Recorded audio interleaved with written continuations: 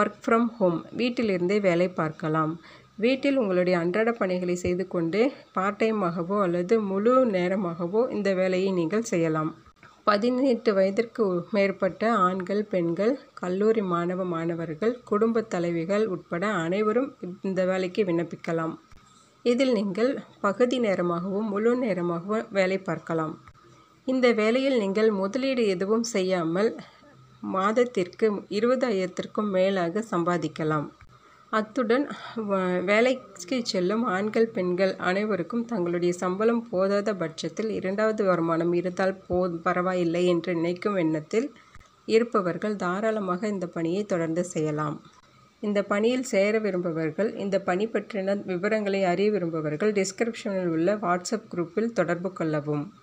அனைவருக்கும் இனிய வணக்கம். நீங்கள் பார்த்து கொண்டிருப்பது government jobs for all Indians YouTube channel. இந்த சேனலில் லேட்டஸ்ட்டாக ஜாப் அப்டேட்ஸ் பற்றி நம்ம பார்த்துட்ருக்கோம் இன்றைக்கி ஒரு சூப்பரான ஜாப் அப்டேட் பற்றி பார்த்து பார்க்க போகிறோம் அதாவது கோயம்புத்தூர் சர்க்கரை ஆலையில் வந்து அங்கே அரசு வேலைக்கான அறிவிப்பு வந்திருக்கு. அதை பற்றின டீட்டெயில்ஸ் இந்த வீடியோவில் நம்ம ஃபுல்லாக பார்க்கலாம்.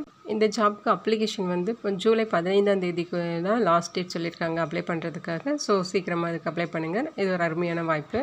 இந்த ஜாப்க்கு அப்ளை பண்ணுறதுக்கு நீங்கள் ஒரு பயோடேட்டா ரெடி பண்ணணும். ப்ளஸ் உங்களோட சர்டிஃபிகேட் எல்லாமே ஸ்கேன் பண்ணி ஒரு மெயில் ஐடிக்கு அனுப்ப அனுப்புகிற மாதிரி இருக்கும். அது நோட்டிஃபிகேஷன்லேயும் அந்த மெயில் ஐடி இருக்குது இந்த ஜாப்க்கான செலெக்ஷன் ப்ராசஸ் பார்த்தீங்கன்னா இன்டர்வியூ அண்ட் சர்டிஃபிகேட் வெரிஃபிகேஷன் தான். ஆனால் அதிகமாக அப்ளிகேஷன்ஸ் போனது அப்படின்னா அவங்க ரிட்டன் எக்ஸாம் கண்டக்ட் பண்ணுவோம் அப்படின்னு சொல்லி சொல்லியிருக்காங்க.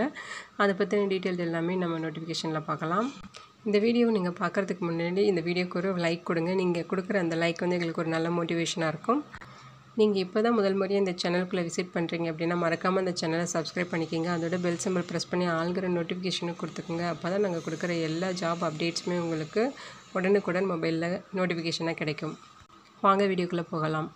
நோட்டிஃபிகேஷன் பார்த்தீங்கன்னா ICAR sugar cane breeding institute இவங்க சார்பாக நோட்டிஃபிகேஷன் வெளியே வந்திருக்கு அவங்க அனௌன்ஸ் பண்ண டேட் வந்து முப்பது ஆறு ரெண்டாயிரத்தி இருபத்தொன்று இந்த அப்ளிகேஷன் கொடுக்க லாஸ்ட் டேட் பார்த்தீங்கன்னா பதினஞ்சு ஏழு ரெண்டாயிரத்தி இருபத்தொன்னுன்னு அப்ளை பண்ண சொல்லியிருக்காங்க.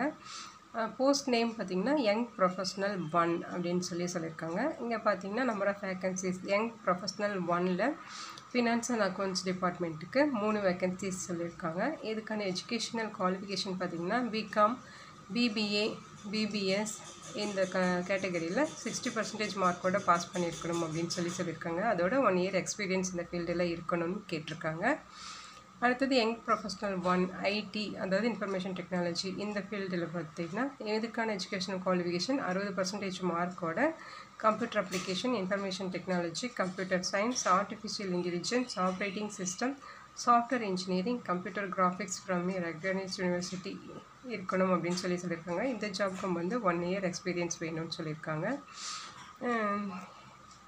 இந்த ஜாபுக்கு அப்ளை பண்ணுறவங்களுக்கு கண்டிப்பாக MS word excel power point tally இதில் கொஞ்சம் ஒர்க்கிங் எக்ஸ்பீரியன்ஸ் கண்டிப்பாக இருக்கணும்னு எதிர்பார்க்குறாங்க.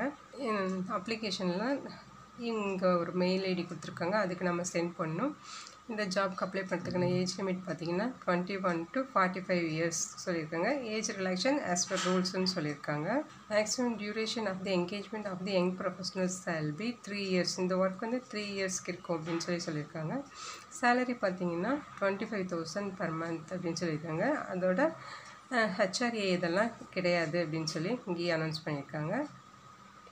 எலிஜிபிள் கேண்டிடேட்ஸ் வந்து அவங்களோட பயோடேட்டா ரெடி பண்ணிவிட்டு த ரெக்ரூட்மெண்ட்டாக இருக்க டாக்குமெண்ட்ஸ் உங்களோட educational documents TC community certificate இந்த மாதிரி டீட்டெயில்ஸ் எல்லாமே இங்கே இருக்க மெயில் ஐடிக்கு அனுப்பணும்.